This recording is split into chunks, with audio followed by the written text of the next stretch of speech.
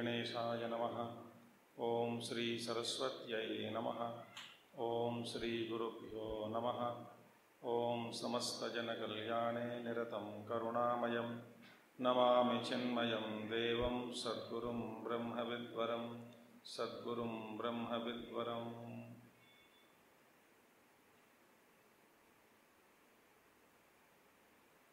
ॐ व्यासं वसिष्ठनप्तारं शक्ते पौत्रमकल्मषं पराशरात्मजं वंदे शुकतातं तपोनिधिं। व्यासाय विष्णुरूपाय व्यासरूपाय विष्णवे। नमो वै ब्रह्मनिधये वासिष्ठाय नमो नमः। वसुदेवसुतं देवं कंसचाणूरमर्दनं। देवकी परमानन्दं कृष्णं वंदे जगद्गुरुं कृष्णं वंदे जगद्गुरुम्। घूम घूम आ रहा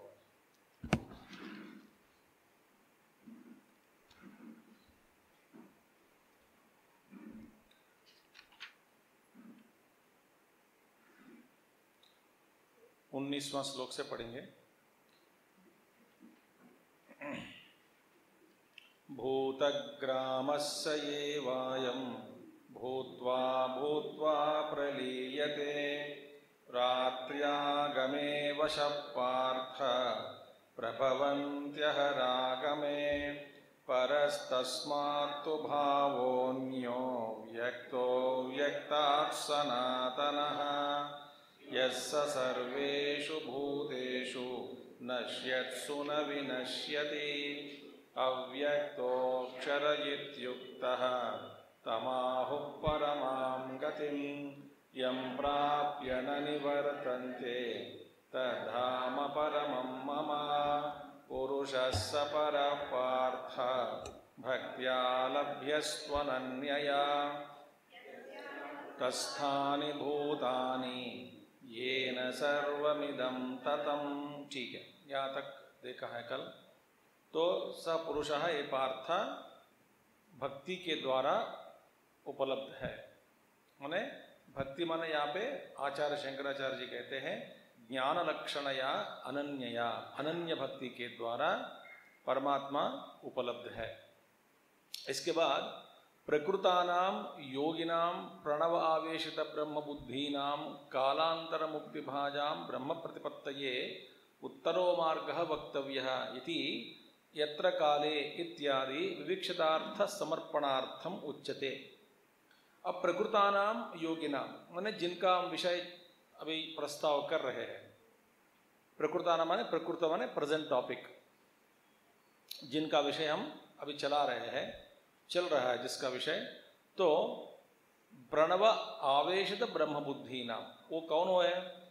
जिनकी बुद्धि प्रणव आवेशित, देखिए, प्रणव में प्रणव में क्या है? ब्रह्म की बुद्धि लगाकर।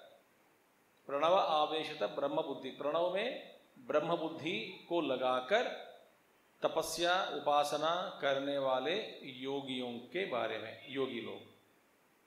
तो प्रणव आवेशता क्योंकि ओम इत्येकाक्षरम ब्रह्म व्याहरन माम करके बता दिया पहले ही तो वही वे ओंकार में ब्रह्म का ब्रह्म का अनुभव में देख को, ब्रह्म का स्वरूप को देख करके तो ओंकार में, प्रणव में ब्रह्म बुद्धि को लगाकर और तप करने वाले, उपासना करने वाले, कालांतर मुक्ति भाजाम और जिनको काल में, माने कुछ काल में मुक्ति मिलने वाली है, उन योगियों को।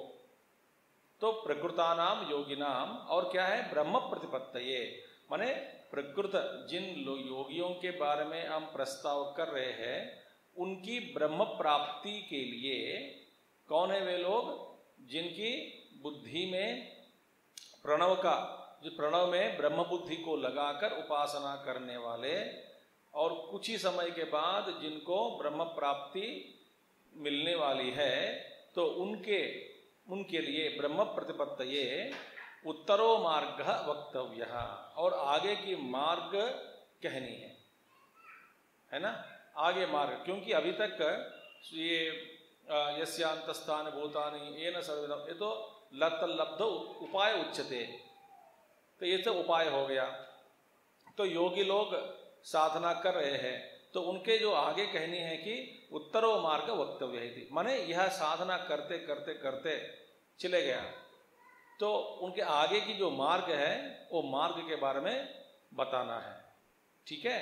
यत्र काले इत्यादि विविक्षित अर्थ समर्पणार्थम उच्चते यत्र काले इत्यादि श्लोक, अगले जो श्लोक कह रहे हैं, कहे जाते हैं, इसमें विवक्षित अर्थ को बताने के लिए, माने स्पष्ट रूप में उसको अलग करके ये योगियों के बारे में क्या है, उनकी गति क्या हो सकती है। ये कौन है, किस किस तरह के लोग, योगी लोग हैं? तीन लक्षण हमें काल में मुक्ति प्राप्त करने वाले हैं और प्रणव में ब्रह्म बुद्धि को लगाकर उपासना करने वाले और कुछ ही देर में ब्रह्म प्रतिपत्त ब्रह्म प्राप्ति के लिए उनको आगे का मार्ग दिखाना है। इसीलिए आगे का श्लोक, आवृत्ति मार्ग उपन्यास इतर मार्ग स्तुत्यर्थ। देखिए, दो मार्ग है। एक आवृत्ति मार्ग और अनावृत्ति मार्ग। माने एक मार्ग पर आप जाओगे, उस मार्ग से फिर वापस आपको आना पड़ेगा। है ना? जिस मार्ग को पकड़कर आप जाओगे, जिस मार्ग से फिर वापस लौट के आना है, उस मार्ग को कहते हैं आवृत्ति मार्ग। आवृत्ति माने चक्कर काटना, वापस आना। और अनावृत्ति मार्ग, जिस मार्ग से आप जाने से फिर वापस नहीं आओगे। तो देखिए, आवृत्ति मार्ग उपन्यास अभी आवृत्ति मार्ग के बारे में बताना किस लिए बताया जा रहा है, आवृत्ति मार्ग? इसीलिए कि इतर मार्ग स्तुत्यर्थ। माने अनावृत्ति मार्ग की स्तुति के लिए आवृत्ति मार्ग में जितने भी दोष है, जितने भी सीमाएँ हैं, है ना, वो तो परिपूर्ण नहीं है। आवृत्ति मार्ग कुछ, उसमें कुछ कुछ लिमिटेशंस है, कुछ कमी है। वो शाश्वत आनंद नहीं है, जाना आना होता है। तो पहले इसके बारे में बताने से, फिर आगे अनावृत्ति मार्ग के बारे में बताना आसान हो जाएगा। क्योंकि इसके तुलना करके अनावृत्ति मार्ग को समझानी है। इसीलिए भगवान कह रहे हैं, यत्र काले त्वनावृत्तिम। आवृत्तिम चैव योगिनः। प्रयाता यान्ति कालम्। वक्ष्यामि भरतर्षभा। यत्र काले त्वनावृत्तिम् आवृत्तिं चैव योगिनः प्रयाता यान्ति तं कालं वक्ष्यामि भरतर्षभा। माने जिस समय मरने से आपको कौन सा यह मार्ग मिलता है? ये बताया जा रहा है। ठीक है यत्र काले प्रयाता इति व्यवहितेन संबंध। अब देखिए, यत्र काले त्वनावृत्तिम आवृत्तिम चैव योगिन प्रयाता। सो यत्र काले प्रयाता, ये प्रयाता के साथ यत्र काले को जोड़ना चाहिए। संबंध है। यत्र काले व्यवहितेन संबंध माने जो पद व्यव, ये प्रयाता शब्द, माने ये जो पद है उसको थोड़ा दूर लेके गया। ये तो पहले पंक्ति में आ गया, यत्र यत्र काले प्रयाता दूसरी में है, इनके बीच में व्यवधान है। व्यवधान माने कुछ दूर है है ना, इन दोनों के पदों के बीच में। ठीक है? तो वहाँ पे प्रयाता जो दूसरी पंक्ति में जो कहा गया, उस प्रयाता को लेकर के यत्र काले के साथ जोड़ना है। तब पूरी होगी, बनेगी वाक्य, यत्र काले प्रयाता। जिस समय जिस समय माने क्या, जिस समय क्या, जिस समय प्रयाता। प्रयाता माने शरीर छोड़कर जाने का समय। इसके साथ अनुसंधान करके जोड़कर देखना है। ठीक है? यत्र काले प्रयाता इति व्यवहितेन संबंध।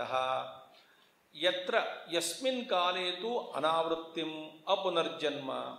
आवृत्तिम तद विपरीताम च एव। माने जिस समय आप शरीर छोड़ने से आपको आवृत्ति मिलेगी या जिस समय शरीर छोड़ के जाने से अनावृत्ति मिलेगी। अनावृत्ति माने जहाँ पर वापस लाना जहाँ जाने से वापस आना कोई वहाँ पे असाध्य है। मैंने वापस आने का कोई प्रयोग, मैंने कोई मतलब ही नहीं होता क्योंकि वापस नहीं आता है। तो जिस मार्ग से, मार्ग को पकड़कर आगे जाने से वापस नहीं आना पड़ता है, उस मार्ग को कहते हैं अनावृत्ति मार्ग। और जिस मार्ग को पकड़कर चलने से वापस आना पड़ेगा, उसको कहते हैं आवृत्ति। ये किस पर निर्भर है? समय पर निर्भर है। कौन सा यह समय? शरीर छोड़ने का समय। ठीक है? ठीक है? साधारण मनुष्यों, कई कई महात्मा लोग हैं, उनके लिए तो ये लागू नहीं है। जो ब्रह्मनिष्ठ पुरुष, ब्रह्मज्ञानी लोग हैं उनको कभी भी शरीर छोड़ दे तो कोई फ़र्क नहीं पड़ता। तो ये योगी जो, यो, जिस योगी के बारे में हम बात कर रहे हैं, उपासक लोग, योगी, साधना कर रहे हैं, उनके बारे में। तो यत्र यस्मिन काले तो अनावृत्तिम अपुनर्जन्म अनावृत्ति माने अपुनर्जन्म, पुनर्जन्म रहित मार्ग, आवृत्तिम तद विपरीत विपरीत माने पुनर्जन्म सहित मार्ग। योगिन इति योगिन, कर्मिण च उच्यंते यहाँ पे योगी माने कर्मयोगी है। कर्मयोगी को लिए भी योगी कहा जा सकता है, कहा जाना है। ठीक है? क्योंकि कर्मिण तक गुणतः इति विशेषणात्, मैंने कर्मयोगेन योगिनाम इति विशेषणात् योगिन। कर्मी गुण के साथ, एक गुण के विशेषण, विशेष गुण है इनके पास तो उन उस विशेष गुण के कारण यहाँ पे योगी माने कौन है? कर्मयोगी। क्योंकि कर्मयोगे न योगिनाम लोकेस्मिन विविधा निष्ठा पुरा प्रोक्ता मया नघा ज्ञान योगे न सांख्यानाम कर्म योगे न योगिनाम वे भी कर्मयोगी के अंतर्गत आ जाते हैं। है ना? वो कर्मयोगी लोग हैं। क्योंकि कर्म करके ऊपर उठना चाहते हैं। ठीक है? कुछ पुण्य कमाना चाहते हैं। तो कर्मिण तो गुणतः, मैंने गुण विशेष से वे लोग योगी है। ठीक है? गुण विशेष से योगी है कर्मयोगे न योगी नाम और कर्मयोगी वाले उनको योगी कहा जाता है, कर्मयोगी को लिए भी योगी कहा जाता है। यहाँ पे योगी माने, और दूसरा अर्थ मत लेना तो कर्मयोगी। उपासना, कर्म, उपासना भी कर्म ही है। इति विशेषणात् योगिन। ये विशेषण है हो गया, योगी का। ठीक है? अब देखिए, यत्र काले प्रयाता। किस समय? प्रयाता माने मृता योगिन। जिस समय एक योगी शरीर छोड़ देता है, हा? तो अनावृत्तिम यान्ति। जिस समय शरीर छोड़ने से, पुनर्जन्म रहित मार्ग से ऊपर उठकर वापस नहीं आता। और जिस समय शरीर छोड़ने से पुनरावृत्ति मार्ग के द्वारा फिर वापस आना पड़ता है। देखिए यत्र काले प्रयाता मृता योगिन अनावृत्तिम यान्ति। यत्र काले च प्रयाता आवृत्तिम यान्ति। कब छोड़ने से पुनरावृत्ति मिलेगी? कब न, छोड़ने से आवृत्ति नहीं मिलेगी? है ना? तम कालम वक्ष्या में भरतर्षभा। उस समय के बारे में हम बता देता हूँ समझ आ गया? कब मरने से वापस आना होता है, कब नहीं मर, कभी, कब मरने से, किस समय मरने से वापस आना नहीं होता। और समय की बात, और समय हमारे पास नहीं है। हमारे हाथ में नहीं है समय। तो वो भगवान कहते उस समय के बारे में बताना चाहता हूँ। ठीक है? ये कर्मयोगी के लिए लागू लागू है। उत्कृष्ट, ज्ञानी पुरुष, महातपस्वी लोगों के लिए ये लागू नहीं है। ठीक है? वो महात्मा, बड़े बड़े महात्मा लोग होते हैं, ब्रह्मनिष्ठ पुरुष, उनके लिए ये लागू नहीं है। साधारण मनुष्य के लिए ये लागू प्राय होता है होता है। अग्निर्ज्योतिर शुक्ल, षण्मासा उत्तरायणम्, तत्र प्रयाता गच्छन्ति। ब्रह्मविद् ब्रह्म तत्र प्रयाता गच्छन्ति ब्रह्म ब्रह्मविदो जनाः। अग्निर्ज्योतिरः शुक्लः षण्मासा उत्तरायणम्।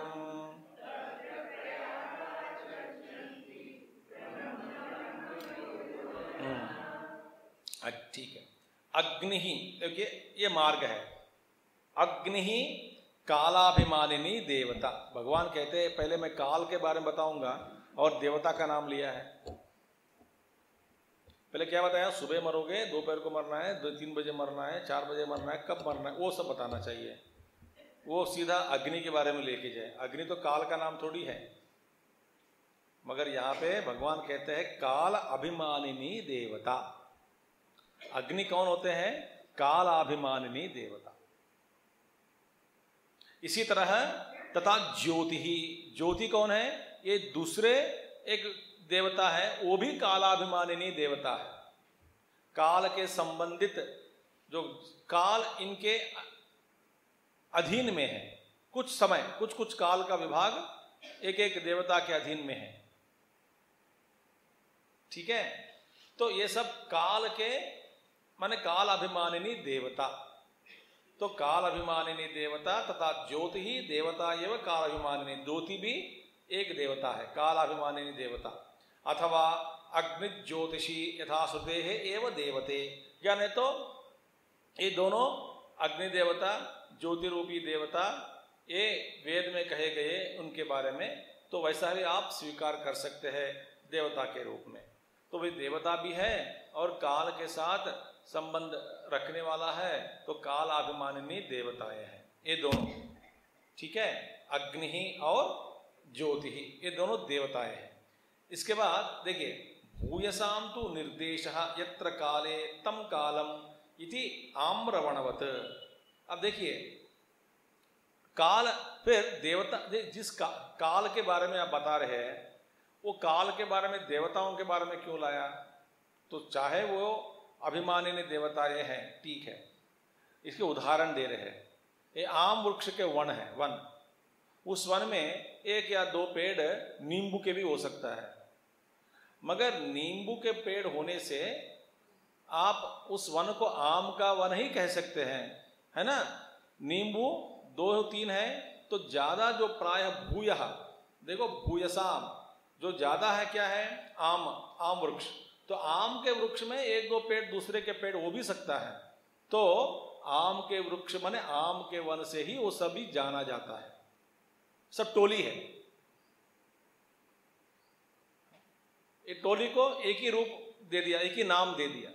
आम के वन। इसी तरह प्रायः ज़्यादा से ज़्यादा काल के बारे में बताया जा रहा है। उनमें काल के अभिमानी देवताओं को भी लाया तो भी काल ही है। कहीं एक एक टोली जा रही है हाँ, कुछ लोग और वहाँ पे सभी छत्र वाले हैं छत्र धारण एक दो के अलावा। छाता लेके जा रहे हैं सब लोग। उसमें चार पाँच लोग ऐसे हैं जिसके पास चाटा नहीं है। और आप दूर से किसी को दिखा रहा है देखो, वो टोली वहाँ पे जा रही है ना, वो सब चाहते वाले कह देते हैं। वैसे सब चाहते वाले है ही नहीं, मगर जिसकी संख्या ज़्यादा है, उसी के साथ बाकी लोगों को जोड़कर उसी में समाविष्ट करके हम कहते हैं उत्सव वो टोली चाहते वाली जो टोली जा रही है, उसमें दो एक दो बिना चाहते वाले हैं, उनको पहचानो, वो मेरे दोस्त है। भाई, तुम्हारे दोस्त को तो चाहता नहीं है, फिर चाहते वाले के टोली क्यों कह दिया?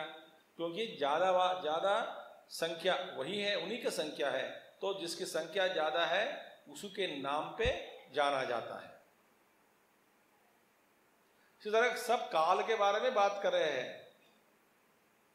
इसमें शायद एक दो देवता भी आ जाए। वैसे तो काल देवता अभिमानित देवता ही है।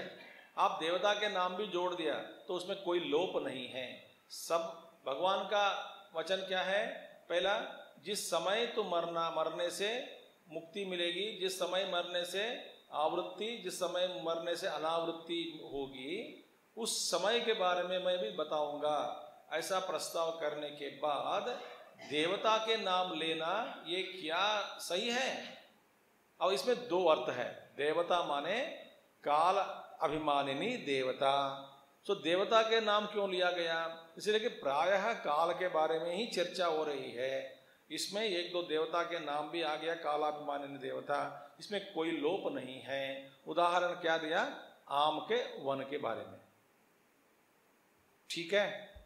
तो इसमें कोई लोप नहीं है। अच्छा इति आम्रवणवत अब देखिए, तथा अहर देवता, इसी तरह अहर देवता। अह देवता माने दिन का जो देवता है तो शुक्ल, फिर बाद में शुक्ल शुक्ल पक्ष देवता। एक एक देवताएँ हैं। देखिए, काल के साथ, माने काल अभिमानिनी देवताएँ हैं। ध्यान से सुनिए।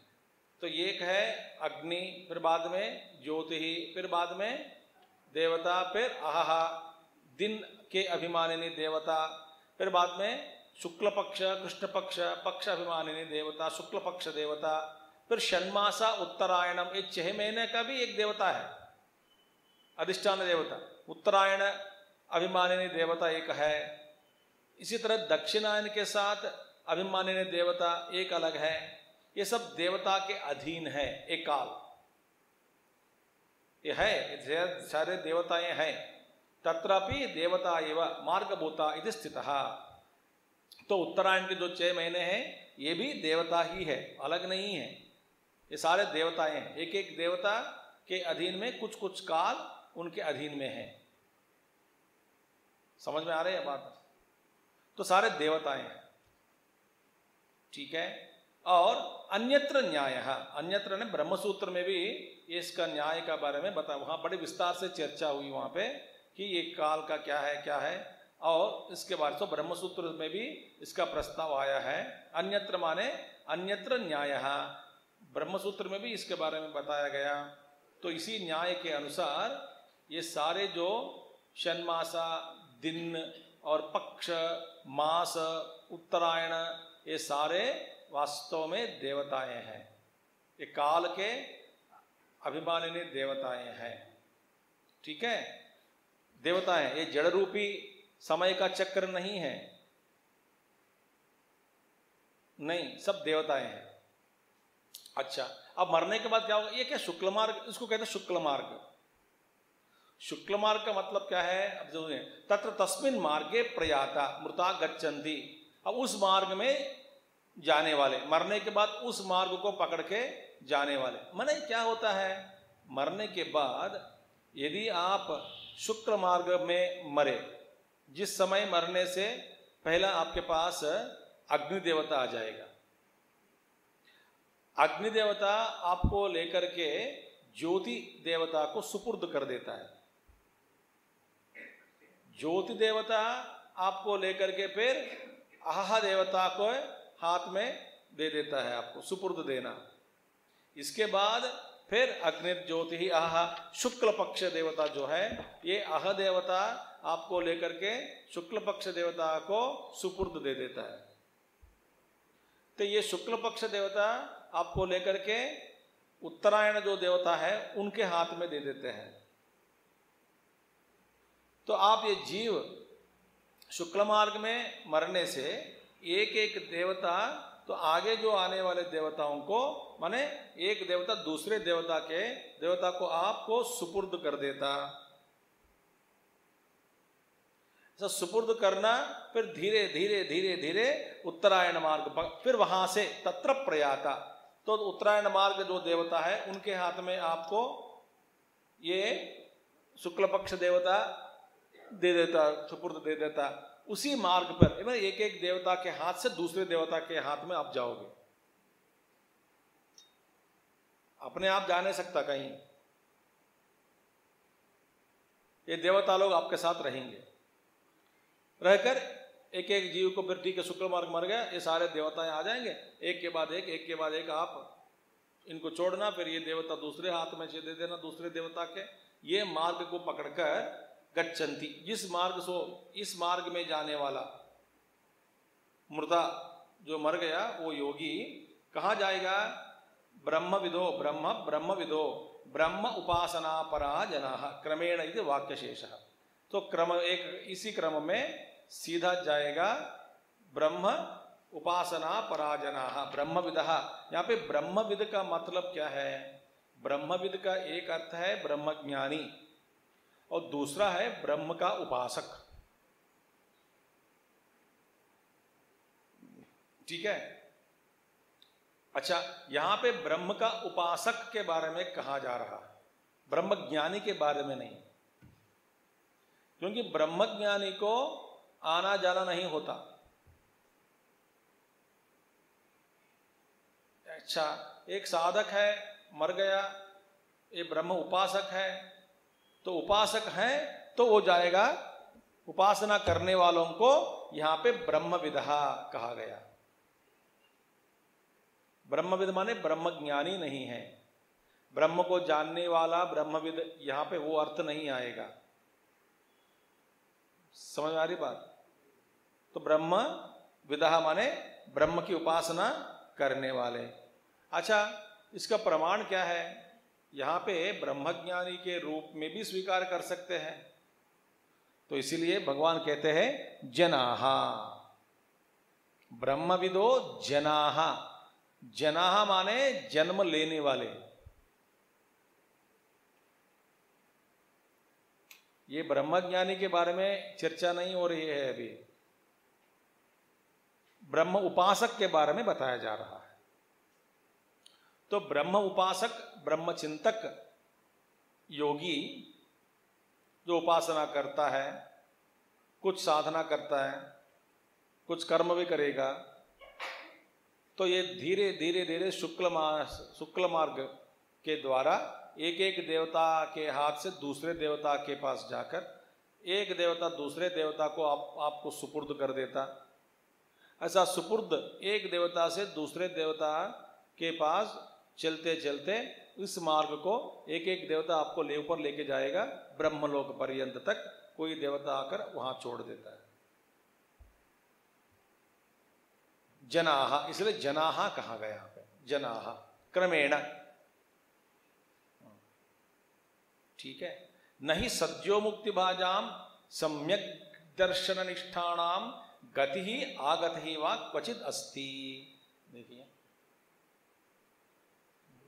आना जाना सद्यो मुक्ति भाजाम सद्यो मुक्ति माने जीवन मुक्ति शरीर रहते हुए ही अपने आप को जान लिया।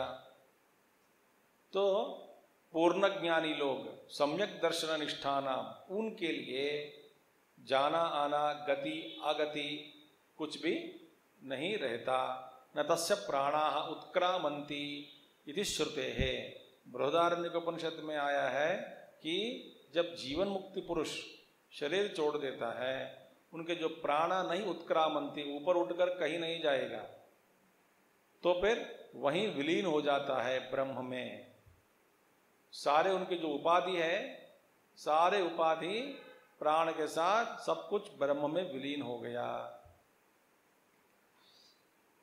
यदि ब्रह्मज्ञानी नहीं है, एक जीव है तो क्या होगा? तो फिर इसका प्राण उत्क्रामंती। ये प्राण जिस शरीर को छोड़कर ऊपर जाएगा, जीव को लेकर के। फिर वो जीव दूसरे जन्म लेगा, दूसरे शरीर का धारण करेगा। फिर वहाँ जन्मना। तो महात्माओं के ये माने जीवन मुक्ति पुरुष लोग, ब्रह्मज्ञानी लोगों के प्राण जो है वहीं विलीन हो जाता है, ब्रह्म में मिल जाता है। ठीक है? तो ब्रह्म संलीन प्राणाह एव ब्रह्म संलीन प्राणाह एवते, ब्रह्ममया ब्रह्मभूता एवते। वे लोग क्या है? ब्रह्ममय है प्राण ब्रह्म ब्रह्मभूता ब्रह्म बन गए लोग। ब्रह्म स्वरूप ही है अर्थात ब्रह्ममय। जिसके प्राण ब्रह्म में विलीन हो गया उसका मतलब वो क्या वो क्या वो, वो कौन होते हैं? ब्रह्म स्वरूप हो गया। इसीलिए उनको उनके लिए गति अगति होगा नहीं। तो शुक्ल मार्ग को पकड़कर जाने वाला कुछ योगी लोग हैं ब्रह्म की उपासना करने वाले। ठीक है ब्रह्म विदो जनाहा तो ब्रह्म लोग जाएँगे और ब्रह्म लोग जाने के बाद वेद में ये बड़ी चर्चा आई इसमें, इसके बारे में, कि एक दो सिद्धांत है। वहाँ पे पंचाग्नि विद्या की उपासना करके, ठीक है, जो ब्रह्म की प्राप्ति करेगा उनकी स्थिति क्या है, वहाँ रहेगा। फिर बाद में वो ब्रह्मोपदेश के बाद फिर उनको मुक्ति मिलेगी। मगर कुछ उपासना करके, कुछ करके वो जो जाएगा ब्रह्मलोक वहाँ से ब्रह्मलोक से भी वहाँ से आना होता है। मगर ब्रह्मलोक के फिर आना, जाकर फिर आना, वो आएगा, साधना के लिए ही आएगा। वापस उठ जाएगा उठेगा।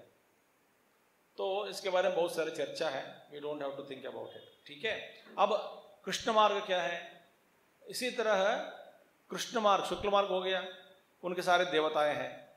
तो एक देवता आपको लेकर के शुक्ल देवता, अग्नि देवता, ज्योति देवता को सौंप देगा। ज्योति देवता आपको लेकर के, अह देवता को सौंप देगा। अह देवता आपको लेकर के पक्ष शुक्ल पक्ष देवता को सुपुर्द कर देता वो शुक्ल पक्ष देवता आपको लेकर के उत्तरायण अभिमानी जो देवता है, अधिष्ठान देवता, उसको सुपुर्द कर देता है। उत्तरायण देवता आपको फिर ऊपर जाके और किसी को सपुर्द कर देता है। इसीलिए धीरे धीरे धीरे आप एक एक क्रम से पूर्व गति को पार करके आगे गति को पकड़ना उसको भी पार करके धीरे धीरे धीरे एक इस दे, इन देवताओं के सहायता से धीरे धीरे धीरे धीरे ब्रह्मलोक जा सकता है। ठीक है। अच्छा फिर कृष्ण मार्ग। धूमो रात्रिस्तथा कृष्ण। षण्मासा दक्षिणायनम् तत्र चान्द्रमसं ज्योतिः। योगी प्राप्य निवर्तते। धूमो रात्रिस्तथा कृष्णः। षण्मासा दक्षिणायनम् तत्र चांद्रमसम ज्योति योगी प्राप्य निवर्तते। धूम मार्ग वो तो अग्नि मार्ग हो गया। ये तो धूम मार्ग धूम मार्ग को धूमो रात्रि धूम अभिमानिनी, रात्रि अभिमानिनी च देवता। पहले धूम अभिमानिनी देवता तो रात्रि अभिमान ये दोनों देवताएँ हैं। तो शुक्ल मार्ग में जैसा एक देवता आपको लेकर के दूसरे देवता को सुपुर्द कर दिया।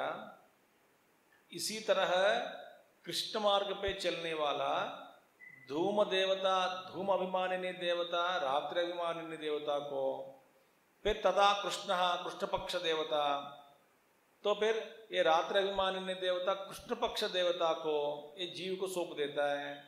शन्मासा दक्षिणायनम तो कृष्ण पक्ष देवता दक्षिणायन अभिमान जो देवता है, इति च पूर्ववत देवता एवं, ये भी देवता है ही। है तो एक समय में मरने से ये सारे देवता हैं, उनके हाथों में आप जाओगे, तत्र चांद्रमसी भवम चांद्रमसम मैं चंद्रमा की ज्योति, चंद्रमा की ज्योति को कहते हैं, चंद्रमा में चंद्रमा में होने वाली ज्योति को कहते हैं चांद्रमस। चांद्रमस क्या होता है?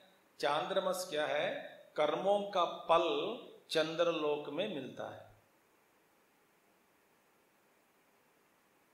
कौन सा है कर्म? बेकार कर्म नहीं, हमारे जैसे कर्म नहीं। इष्टापूर्त कर्म, यज्ञ याग आदि कर्म आप करोगे। जो आप भी योगी है, मगर आप कर्म किया, जानते हैं, मगर इच्छाएँ हैं सो इच्छाओं की प्राप्ति के लिए आप जानते हैं कि ये तो चंद्र मार्ग है। इस मार्ग पे जाने से कर्मों का फल भोगने के बाद फिर वापस मुझे लौटकर आना पड़ता है। ये मैं जानता हूँ। अच्छा ये तो आगे आएगा इसके बाद। तो ये ज्ञानी भी है। ये सम, ज्ञानी माने समझते हैं। इसका ज्ञानकारी है कि ऐसा मैं इस मार्ग पे जाने से मुझे वापस लौट के आना पड़ता है। मगर भोगने की इच्छाएँ हैं। तो इन सारे कर्मों का पल जहाँ पे मिलता है, उसको कहते हैं चंद्रलोक। और चंद्रलोक और पृथ्वी लोक के बीच में भी इसके अंतर्गत कोई एक, कुछ एक कक्ष है। एक जगह है, इन दोनों के बीच। आपको मैं एक रहस्य बता रहा हूँ।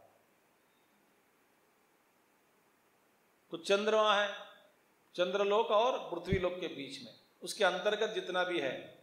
माने कुछ लोग ऐसे हैं शरीर छोड़ने के बाद न चंद्रलोक नहीं जा, जाता न तो न शुक्ल मार्ग को पकड़कर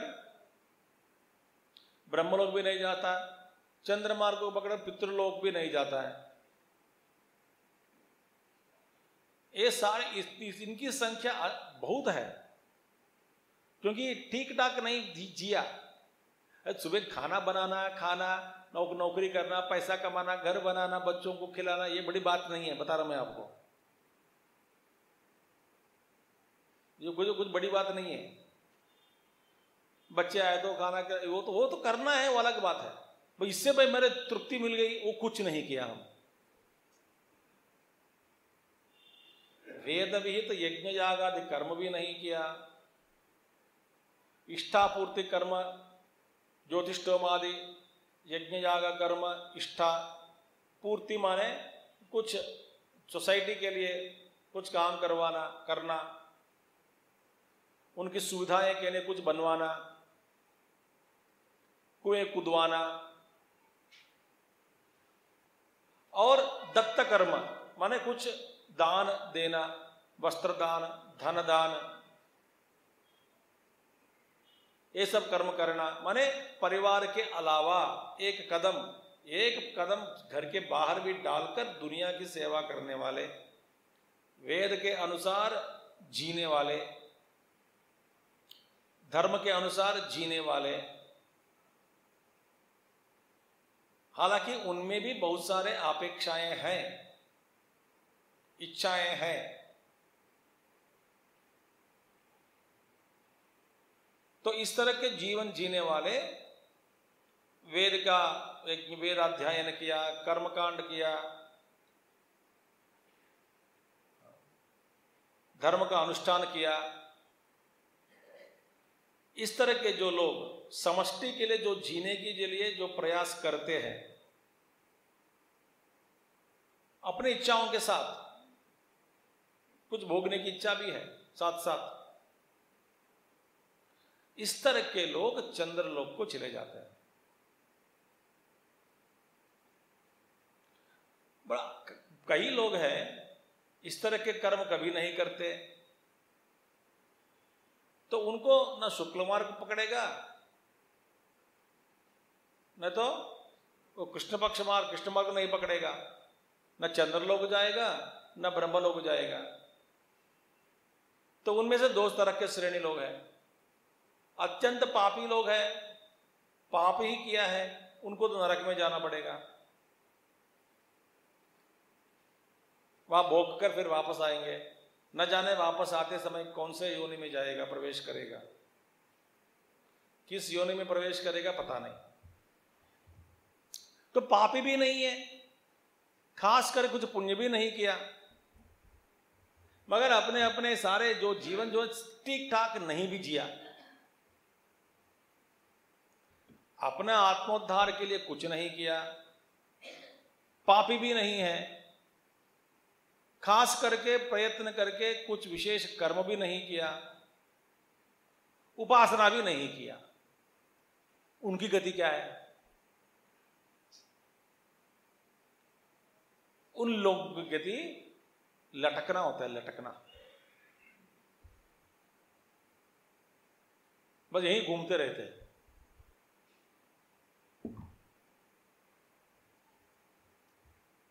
तो पुराण में बताते हैं कि भूख से, प्यास से वांछ अन्य प्रकार की इच्छाओं से,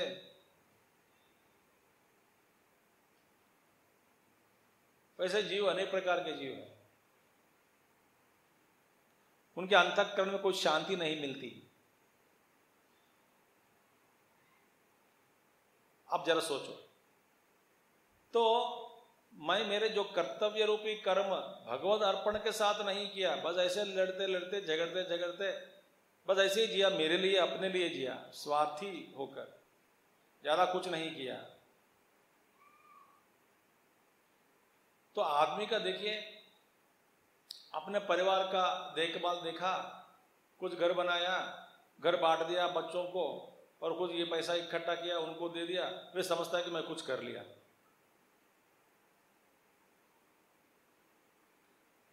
आपका रहना कहाँ हुआ? घर के अंदर ही हुआ। ऐसे बहुत लोग हैं दुनिया में। गुरुदेव कहते थे me my wife and my children that's it let the country and society go to dogs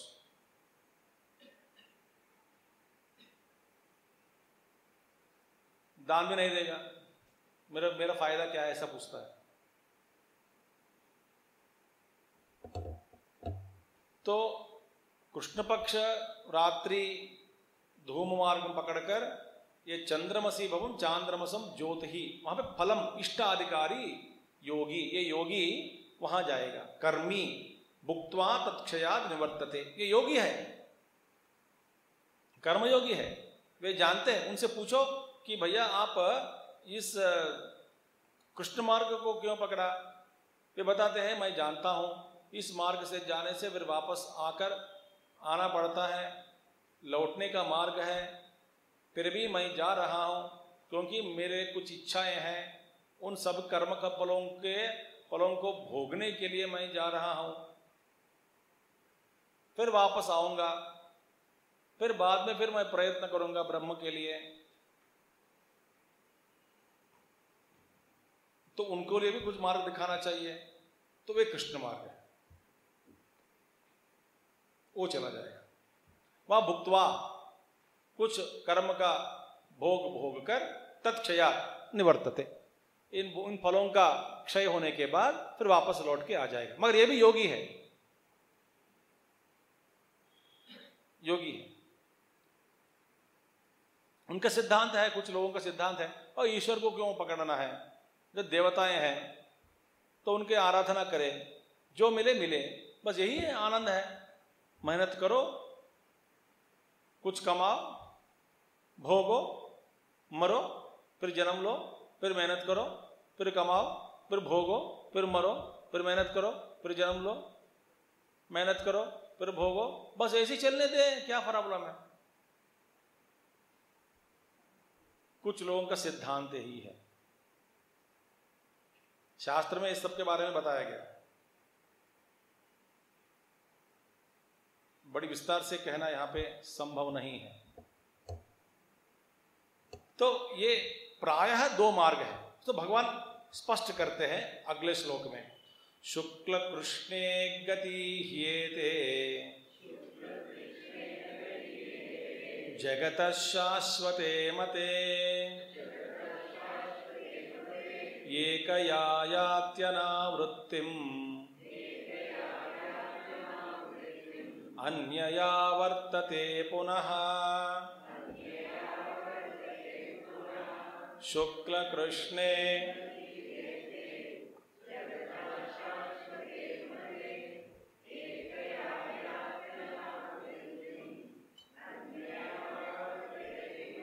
ये दो मार्ग है, शुक्ल मार्ग और कृष्ण मार्ग।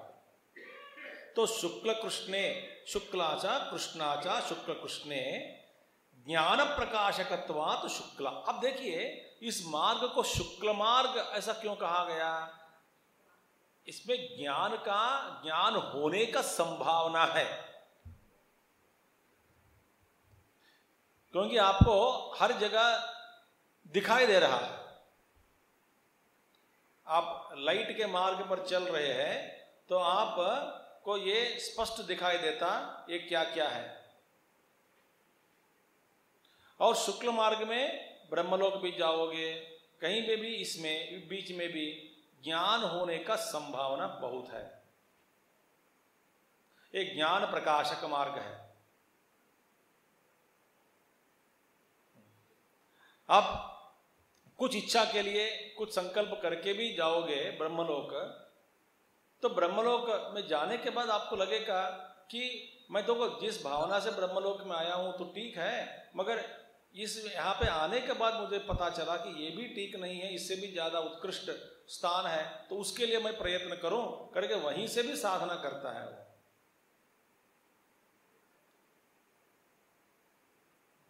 तो ये ज्ञान प्रकाशक मार्ग है, ज्ञान प्रकाशकत्वात शुक्ला तद अभावात कृष्ण। और कृष्ण मार्ग में सारे अंधेरा अंधेरा है। न मार्ग दिखाई नहीं देता, ठीक है, डर भी लगता है और रात्रि अभिमानी देवता, कोई देवता आपको, वो दिखता नहीं, मगर पिटाई करता रहता है। माने उस मार्ग में आपको ले जा करके कुछ कर्मों का फल भोग दिलाने के लिए वो आपको ले जाएगा, कृष्ण मार्ग। उसमें आपका ये ज्ञान होने का संभावना नहीं है। आपको यदि यही जानकारी मिलती है, मैं ठीक ठाक आप सब देखिए, सब, हर मनुष्य सोचता है कि मैं ठीक ठाक जिया हूँ। मैं यदि आपको एक पत्र दो, लिख के दो, कुछ प्रश्नोत्तरी, आप समझते हैं क्या ठीक ठाक जिया? बिल्कुल। हर आदमी समझता है कि मैं ठीक ठाक जिया हूँ।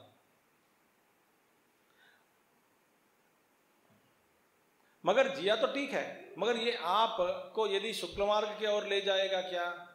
ये बता नहीं सकते हैं।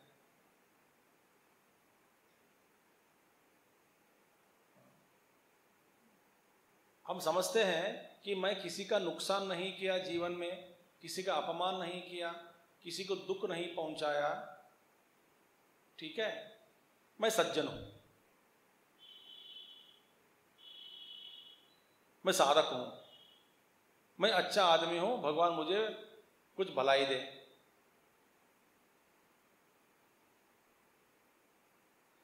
मगर ये बात है कि समष्टि के लिए जिया क्या? कुछ किया क्या? कर्म करना। ज्ञान की प्राप्ति के लिए मेहनत किया क्या? शास्त्र पर जरा एक नज़र डालें, ऐसी इसी, इस तरह की जो भावना कभी आपको हुआ क्या, हुई क्या, लगी क्या? ये सारे प्रश्न।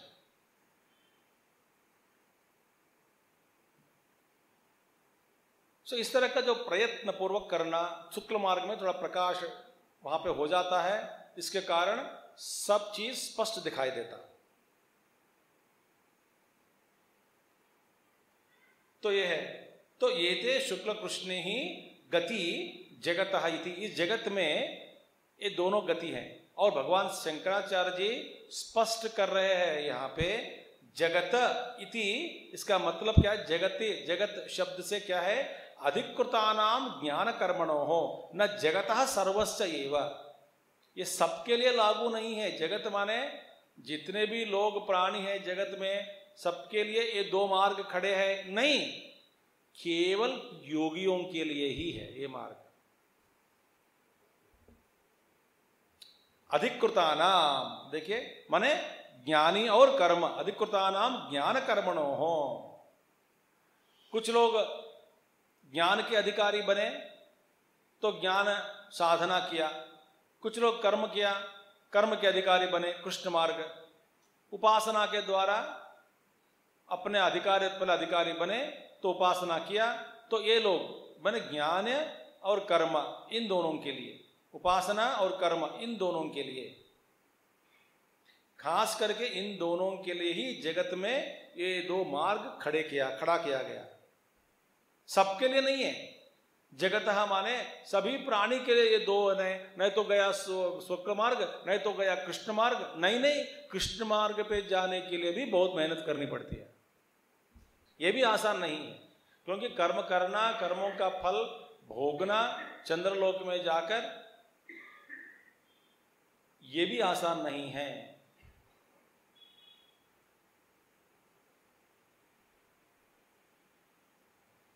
तो जगत न जगत सर्वस्व जगत का अर्थ माने सर्वस्व एवं ये गति संभवतः, सबके लिए ये दो गति संभव नहीं है। सबके लिए ये दो गति माने दो मार्ग संभव नहीं है।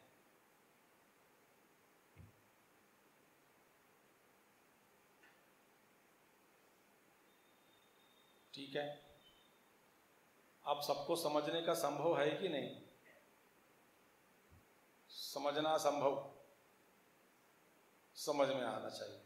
शाश्वते नित्ये संसारस्य नित्यवात्मते अभिप्रेते। तो संसार के लिए ये गति संभव नहीं है। इस दो, मगर ये दुनिया जब तक जगत है, तब तक ये दो मार्ग शाश्वत है।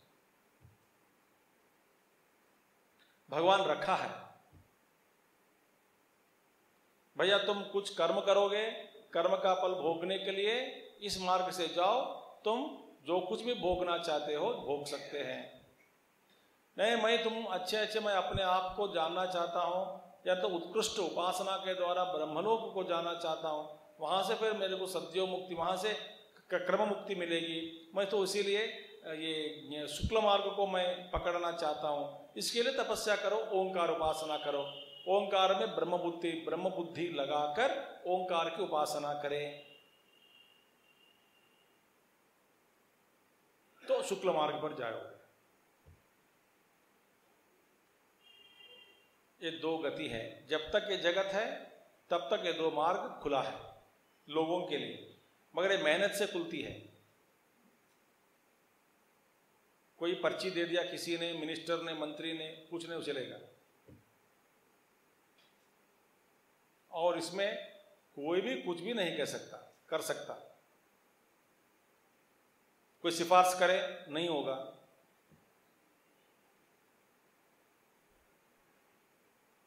ठीक है? तत्र एक या शुक्लया याति अनावृत्तिम अन्यथा यतनया आवर्तते पुनः। तो शुक्ल गति के द्वारा जाओगे अनावृत्ति फिर वापस नहीं लौट के आना नहीं पड़ता। ब्रह्मलोक जाओगे ब्रह्मलोक में जाने के बाद वहाँ पे रहोगे फिर वहाँ से मुक्ति मिलेगी। ठीक है? तत्र हाँ, हो गया। अब भगवान कहते हैं नैते श्रुति पार्थ जानन। योगी मुह्यति कश्चन। तस्मात् सर्वेषु कालेषु। योगयुक्तो भवार्जुन।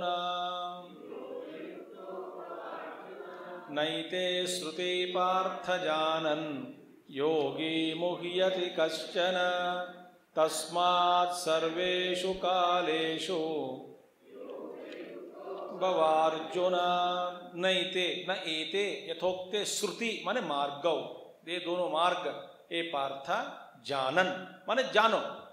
तो जानकारी दोनों के लिए है। मैंने कह दिया, कर्मयोगी भी जानते हैं इस मार्ग के बारे में, और ज्ञान योगी जो उपासक है, ब्रह्म उपासक वो भी जानते हैं। मैंने दोनों जानते हैं। ये कर्मयोगी जो कृष्ण मार्ग को पकड़कर ऊपर उठ रहे हैं, उसके द्वारा जो चलने वाला योगी है, वो भी जानते हैं कि इस मार्ग से जाने से मैं मुझे वापस आकर लौटना पड़ता है। ये जानते हैं। ये जानते हैं, इसीलिए मोह में नहीं पड़ते। तो वे क्या करते हैं? तो कर्म के साथ साथ उपासना को भी जोड़ देते हैं। और धीरे धीरे धीरे धीरे धीरे एक कर्म छूट गया, केवल उपासना रह गया। केवल उपासना करेगा। पहला क्या करता है? इस कर्म में वे जानते हैं, मेहनत करे, फिर ऊपर जाए, चंद्रलोक में गए, भोग, भोगे, फिर वापस लौटे। मगर इसके लिए मेहनत करते समय भोगों की अपनी इच्छाओं को इच्छाओं की पूर्ति के लिए, भोगने के लिए मेहनत करते समय वे जानते हैं कि मैं जिस मार्ग को मैं पकड़ा हूँ, ये मार्ग शाश्वत तो नहीं है, वापस लौट के आना पड़ता है, मगर तो भी मेरी इच्छाएँ हैं।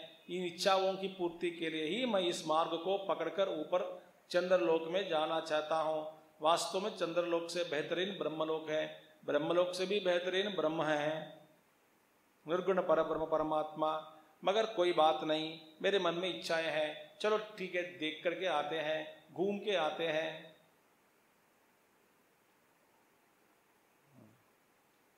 ठीक है। जैसे कि आप कुछ लोग चले गए कहीं एक यात्रा में। कुछ एक जिस या, यात्रा में चला गया माने एक कुछ एक कास विशेष के लिए कुछ बात के लिए कुछ देखने के लिए चला गया। उनमें से ऐसे लोग कुछ होते हैं जिसको देखने के लिए आया है उसको देख लिया फिर बाद में कहीं घूमना नहीं। मगर ऐसे कई लोग होते हैं कि यहाँ तक तो आए गए मगर साथ में ये भी देखें।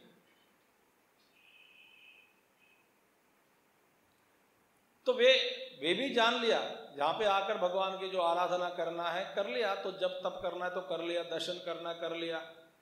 फिर वापस लौटे, नहीं नहीं, एक दिन खाली पड़ी है तो घूमे। यह है चंद्रलोक के जाने वाले बुद्धि के जो लक्षण। तो ये योगी कहते हैं कि, मैं जानता हूँ सब कुछ, चलो चंद्रलोक में जाकर भोग के आएँगे। तो मुख्यति ये जानकारी के साथ जाता है, आता है ना तो मोह में नहीं पड़ता। वे जानते हैं, ज्ञानपूर्वक। तो ये पार्था इन दोनों मार्गों को जानने वाला संसाराय एक अन्या मोक्षा योगी न मुह्यति। ये जानते एक मोक्ष के लिए, एक पुनरावृत्ति के लिए। ये दो मार्ग है, मैं तो जान लिया, ये जानकारी के साथ व्यवहार जो करता है, वो कभी मोह में नहीं पड़ता।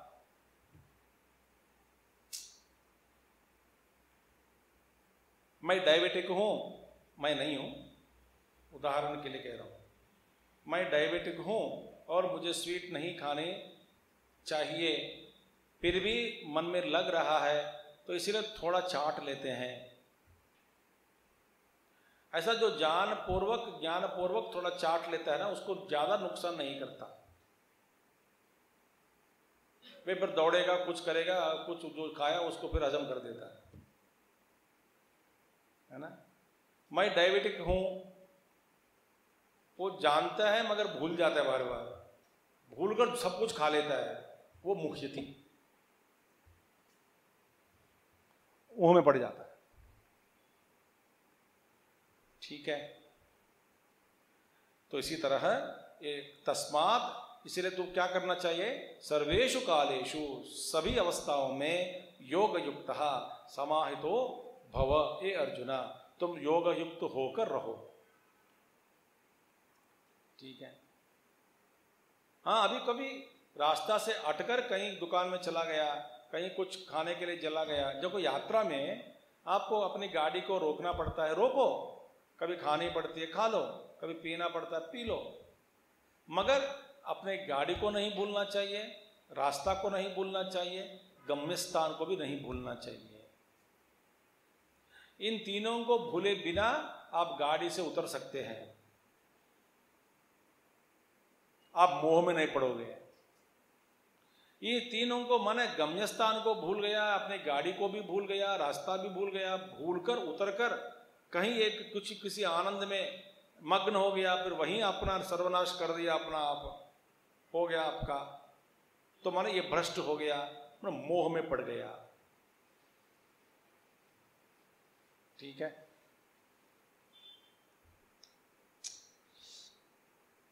महात्मा लोग का व्यवहार ऐसे होते हैं वो जानते हैं कभी कुछ भी किया तो भी जानते हैं। समष्टि कर्म के कारण या परीक्षा प्रारब्ध इच्छा प्रारब्ध अनिच्छा प्रारब्ध के कारण कुछ चीज़ कभी कभी करना पड़ता है। मगर वे जानते हैं वो फंसते नहीं उसमें। क्योंकि तस्मात सर्वेशु कालेशु योग युक्त ठीक है? सुनो योग से महात्म्यम। अब योग का महात्म्य सुनो। वेदेशु यज्ञेशु तपस्सु चैव। दानेषु यत्पुण्यफलं प्रदिष्टम् अत्येति तत्सर्वमिदं विदित्वा। योगी परं स्थानमुपैति चाद्यम्। वेदेषु यज्ञेषु तपस्सु चैव, दानेषु यत्पुण्यफलं प्रदिष्टम् अत्येति तत्सर्वमिदं विदित्वा योगी परम स्थानमुपैति दिव्यम। देखिए इन सभी में कुछ ना कुछ पुण्य फल प्रतिष्ठित है। सब में। ठीक है? इन सब में कुछ पुण्य फल प्रतिष्ठित है। मगर जो योगी, है ना? साधक जो है, योगी जो है, वे ये सारे पुण्य फल फलों को अत्येति, ऊपर उड़ जाएगा। इससे भी ज़्यादा। सो ये सब कुछ आप करते हैं, इन सब में कुछ कुछ पुण्य पुण्य फल है, वो आपको मिल जाता है। मगर योगी को इससे भी ज़्यादा उत्कृष्ट स्थान जो है, वो प्राप्त कर लेता है। माने वेदेशु सम्यक अधीतेशु माने ठीक ठीक वेद का अध्ययन किया, पाठ किया, उसमें भी पल है।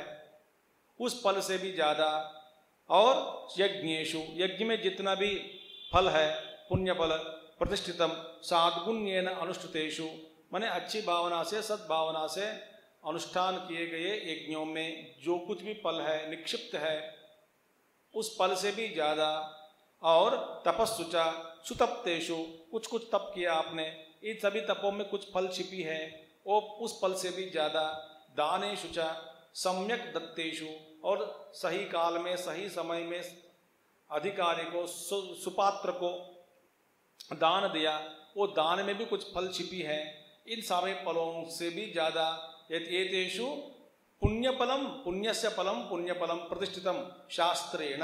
शास्त्र के द्वारा शास्त्र में ये तो बताया गया कि ऐसा ये कर्म करोगे, इसका फल तुमको यह मिलेगा। इसीलिए शास्त्र को सहारा लेकर के आप अपने फलों की इच्छा कर सकते हैं।